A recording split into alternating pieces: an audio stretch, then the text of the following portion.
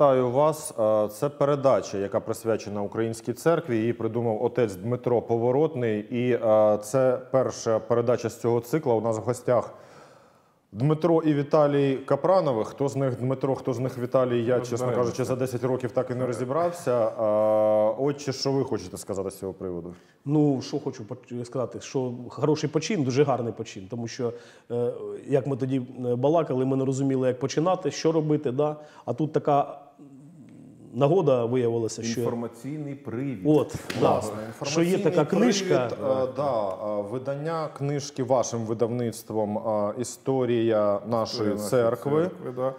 Її можна показати. І, власне, Зразу відповість на питання в нашої це чиєї. Ми зараз були у Львові на виставці, а у Львові ж греко-католики дуже сильні. І підходять, нашої це чиєї нашої? Я кажу, ну якої нашої? Що від митрополії, яку заснував Володимир, ну і Аскольд насправді. От від тої пішли решта церков. І тут є навіть схема, як вони і куди пішли. Ось о, митрополія Які- які Е, були, Київська, ось о, пішов Московський патріархат, ось о, ГКЦ, ось Київський, ось о, ЕПЦ, ось о, Польська православна Бачите, церква. це та, та. Оце Канада, США, ось о, Київський патріархат. І головне, ось українська нова помісна церква. І от тут спеціальне місце, де ви можете поставити дату, коли ми отримаємо Томос. Вона вже є у них. Книжки Місце вона вже є. Вже. Місце дати ще немає. місце є, залишилось тільки підписати. А от вам таке перше завдання. Просто ми з очі думали, як назвати цю цей цикл передач, і не змогли, поки не встигли придумати ваша Ми, версія. ми пом- поміркуємо, бо ми ж не знаємо теми. Ідея в чому? Якби ми хочемо от в, в такій е, вільній розмові розповісти дійсно от про нашу церкву. От взагалі історичний ракурс, можливо, там да, от ви розкажете хтось. Я Хтось представляю свійську сторону, очі представляє е, власне церкву. от такий цикл. Ми Так що теж світську. Як у нас насправді замовник цієї книги, ну як це умов, умовний замовник, це відділ соціального служіння Київського патріархату. Отець Сергій Дмитрів він сказав, що давайте, хлопці, зробіть нам таку. Я кажу, ну ми погані взагалі, як це сказати, Власне, я чую- погані парафіяни. Він каже, хороших парафіян у нас дуже багато. У нас некомаха книжку зробити. Так що давайте. Перше питання, Погані да, про яке парафіяни. виникло у мене. А давайте а назвемо чому цикл вас погані парафіяни. Погані парафіяни. Ну, окей, давайте ще далі, пра- далі працюємо в цьому напрямку. Чому вас зацікавила історія української церкви? Ви романісти, детективісти, е, ну хто завгодно, тільки да, не історіографи церкви, е, тим не менше. Головне, От що ми дослідники. А дослідники що досліджують? Те, що ніхто не знає. І ми раптом зрозуміли, що історію церкви як компактна версія сьогодні не існує української. Компактної версії української історії я, теж не існувало, поки ми не зробили мальовану історію. І за тим самим компактна версія, ну є таке в науці таке правило, що якщо ти за 5 хвилин не можеш пояснити прибиральниці, чим ти займаєшся, то ти не знаєш, чим ти займаєшся. Те саме з історією церкви. Е, Саме української церкви, бо історія церкви взагалі є. І ми знайшли в інтернеті видання е, в п'яти, ні, в шести книгах і п'яти томах. Нариси. Нари, ні, це не історія, це Ну да, нариси, це нариси в п'яти томах. І ми зрозуміли, що ну не можна ніхто її не прочитає ті нариси. Да. Абсолютно правда. От. І тому от це нашої, що це означає? Це україноцентрична історія. Для нас головне те, що відбувалося тут. Головними святими є ті, що рухали цю церкву. Олександр Невський не входить в цю цер... в історію церкви, попри те, що він святий, бо це історія нашої церкви. І Сергій Радонежський теж сюди не входить. Так? Хоча святі А Дмитро Туптала Ростовський входить. От тут важливий наш. дуже оцей, да, от тут дуже важливий злив в слові нашої україноцентрична історія України, яку ми зробили незалежності.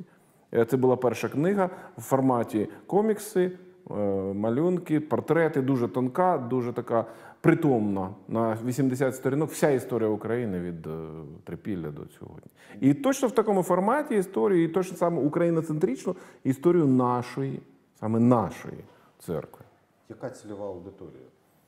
Ну, завжди люди, коли видають книжку, вони розраховують, що Хто її буде купувати? Чи взагалі була Знаєте, така мета? Ми три роки тому її замислили, і тому тоді ми про цільову аудиторію не сильно думали.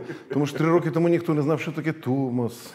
Всі думали, що Українська е, православна церква Київського патріархату це новоутворена церква без традицій. Тобто це взагалі було темне не тільки три роки тому, а і, Ну, і 13 років тому, і Так, 15 так, років так. тому. Але тоді, і, і зараз багато хто так думає, але зараз ця тема, слава Богу, вже звучить. І тоді ми вирішили її написати просто із принципа, як отакий е, публіцистичний українцентричний продукт, не думаючи над аудиторією. Але сьогодні Ми можемо показати книжку, і ви самі визначите, яка аудиторія. Ми бачимо, що перед собою. Комікс. Комікс Це Для кого? Для кого малюють комікс? Да. для дітей. Для дітей. Чи хто не хоче читати? Да, чи ніхто не хоче читати. Головний герой. Головна концепція нашого підходу до історії, яку ми відпрацювали ще на історії незалежності, це комікс і герой. Да. Є герой, є період. Нема героя, нема періоду. Ну дуже легко зорієнтуватися. От дивіться, уявлення нормальної людини української про історію України носить людина з собою в гаманці. На купюрах портрети це наше уявлення про історію. На одній гривні Володимир, Володимир. на двох Ярослав. Далі 3-4 гривні нічого не було. І далі Богдан. От спитайте на вулиці. Є герой, є епоха. А скільки років між Ярославом і Богданом? Да. І що нічого не було? Ну, раз героя нема. Кажемо, була б 3 гривні з Данилом Королем Романовичем, якого Галицького називають, уже б згадали про Руське королівство 100 років. Так? 4 гривні було б з Ольгердом, наприклад. Уже б згадали, що Велике Литовське князівство. Литовство. Так. І тобто нема героя, нема епохи. Тому герой, який врушав е, історію церкви. Не обов'язково це е, діяч саме церкви, бо, наприклад, Сагайдачному в вирішив долю православ'я Звичайно, в Україні, не будучи при Зробив цьому, не будучи при цьому, е, власне кажучи, священником, не маючи сану. Там є багато таких героїв, так як це не дивно. І текст, який розповідає, плюс обов'язково герой додатковий, е, на відміну від історії України. У нас тут є додатковий герой, який е, як це е, символізує, ілюструє деякі особливості церкви. Ну, наприклад, що таке затвор? Да? То тут є у нас герої е, е, святі затворники, і ми пояснюємо нашим читачам, що таке затвор, навіщо Як це явище, да, Так, що взагалі це? як Це- це явище. повне так. явище. Е, е, Тут, наприклад, є у нас е, агапіт. е, Ми пояснюємо, що медицина е, зародилася в церкві. Перші госпіталі будували система, при церквах система, як так, система. та. Тобто, це ми використовуємо для того, щоб пояснити деякі от такі деталі. Тобто, для кого ця книга? Господь його знає. Для священника, для парафіальної школи Можливо. 100%. Отут 200%. Да, Для мами, яка хоче пояснити дитині, Теж 100%. 100%. Для бабусі, яка хоче Хтось хоче згадати, що е, чому навчався, коли що коли було згадати, чому навчали, і може дійсно Для згадати. с- семінариста для підготовки до історії так, теж так, тому що вона дозволяє чітко вкласти в голову, а потім уже подробиці, подробиці. Тобто, Бог його знає для кого це.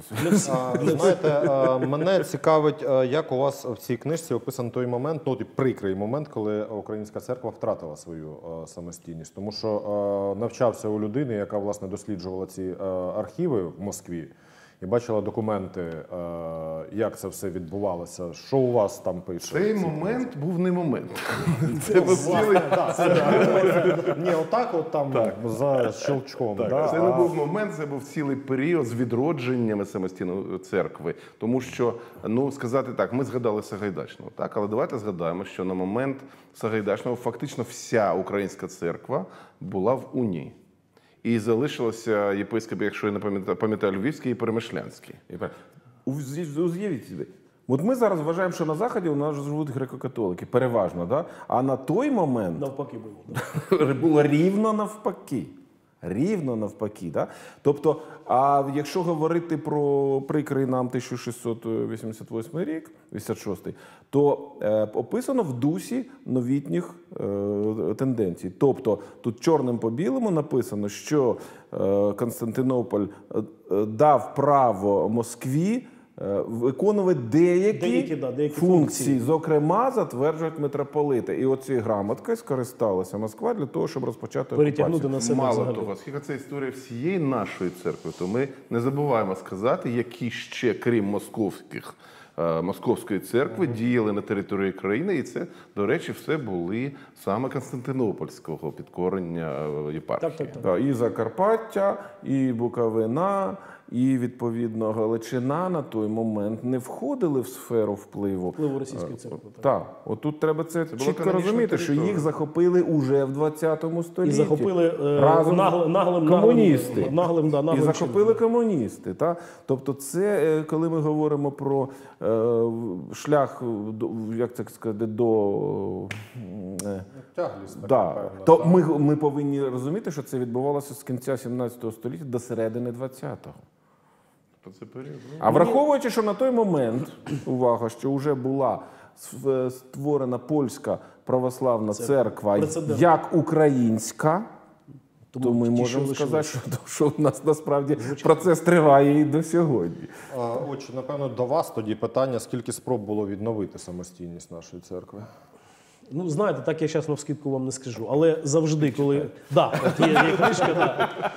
Ну, тобто я можу там помилитися зараз там чомусь. Е, Питання е, це питання завжди поставало тоді, коли була певна, ем, скажімо так, в якомусь вигляді державність на наших землях. І от тоді виникало питання е, незалежності самостійності церкви. Починаючи при Ярославі Мудрому, перший русич митрополит Іларіон, який, на жаль, якого, на жаль, не затвердив Константинополь, це також була попитка, така попитка зробити е, умовно ну, в тих умовах і таким чином незалежну е, помісну умовно церкву, яку б очолював митрополит саме із Русичів. Тоді була практика, греки були. Так само воно було на тих же землях, які були українськими, там Галицька земля, там е, е, кня- князівство Литовське, там була своя наша ієрархія нашої церкви. Знаєте, тут на цю тему є відповідь в одному коміксі.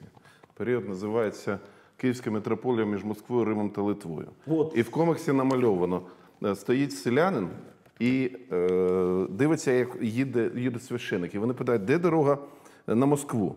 Їде митрополит. Він показує. Потім їдуть назад. Якраз. Їдуть назад, питають, де на Київ дорога, він показує. Потім їдуть назад, де на Москва дорога, він показує. Він плює і вкопує вже Київ, Москва, такий вказівник. Бо був період, коли Да, був такий дуже Митрополит цікавий. Кіприян це якраз такі, от, е, які то туди, то сюди їздив. Це. Але, шановні друзі, давайте ми е, чітко визначимо деякі речі. Е, Для мене особисто, коли е, ми працювали над цим, було, відкриттям, що насправді ініціаторами відродження саме автокефалії української церкви завжди були посполиті, завжди були парафіяни. Ми називаємо це те, що ми зараз називаємо. Абсолютно правда. Е, Коли зібрався з- е, собор у АПЦ, який створив АПЦ і обрав митрополитом Литківського, там не було жодного єпископа. Чому? Бо на той момент в Україні всі єпископи були москалі. Тобто окупаційна адміністрація стала, люди сказали, нам потрібна своя церква. Люди зібралися, люди зібралися в Софії. По наших традиціях. І нам е, е, Ірина Приловська, доктор наук, розповідала, вона читала. Е, Спогади з того часу, як, так, як справа. ця хіратонія відбувалася. Я для е, наших е, глядачів поясню, що хіратонія це покладання рук. А в чому Висвята, смисл? висвята. В чому смисл покладання рук? Це естафета від Христа. Тобто, першими були апостоли, вони могли покласти руки, їхні руки торкалися Христа. Вони торкаються тебе, ти єпископ торкаєшся Ну, приємство, інших. це називається пряма, приємство, да, приємство, пряма приємство. естафета. Оце от скільки рукостискань є там да, до будь-якої людини. Оце воно і є. Це і це справа свята. Але оскільки не було жодного єпископа, прямої е, естафети не могли передати. Люди сказали: тоді давайте зробимо народну. Тобто ми покладемо на нього руки всього народу. От ви вдумайтесь в цю історію. Це, це, це, до речі, прецедент, який дуже гарний показник саме от хто ми є. Скажіть, будь ласка, коли це було? Тому що от е, глядачі вони не знають Це подробиць. 1918 Ні, це, це, це, це не 18, А, це, це, це, це 22, 22, але не да. важливо. Важливо, що, важливо, що це 22. створила, була створена спочатку УНР. Початок е, боротьби за самостійну Це церкву вже сучасне, був, це вже сучасне 20 століття. був, власне кажучи, в УНР. Е, Потім Ну, вийшов закон. початок, так, потім вийшов. Закон вийшов в січні 19-го року про автокефальну церкву. І наш земляк Директори. Агапіт Вишневецький, архієпископ, також був одним із. Е, Про що, до речі, мало хто знає. так. Але в той момент комуністи вже наступали, ця історія не вийшла, але є державний указ про автокефалію. Є державний указ, підписаний директорією про автокефалію Української церкви. І в той момент приходять комуністи, але навіть комуністи вимушені були дозволити провести Рух собор. рух. Розумієте? Тобто рух знизу був настільки потужним, без е, прикриття, без верхівки. Не могли комуністи сказати, хочете собор? Бог з вами. Люди зібралися і говорять, немає єпископів, ми покладемо руки. Церковний майдан. Церков... О, абсолютно вірно. І причому це було стихійно. Е, Вони вирішили покласти тільки священнослужителі ближнього Ну, кола. от ті, що були Ті, що- собора. Власне, власне, собор. А люди, які присутні були, вони поклали на нього всі руки, а люди почали на них класти, і за церквою на них класти, і на Майдан Софіївський. І весь Майдан поклав руки на е, відповідно Липківського. Уявляєте собі? Естафета, вони там починають е, ці обрані на собор делегати, кладуть руки на Липківського. Перший ряд виходить на них, кладе руки, другий на них, і через проходи вся ця естафета виходить на Софію. Такого прецеденту, от здається, наскільки я пам'ятаю, от в історії немає такого прецеденту. Це, це фантастика. Я вам розкажу ще.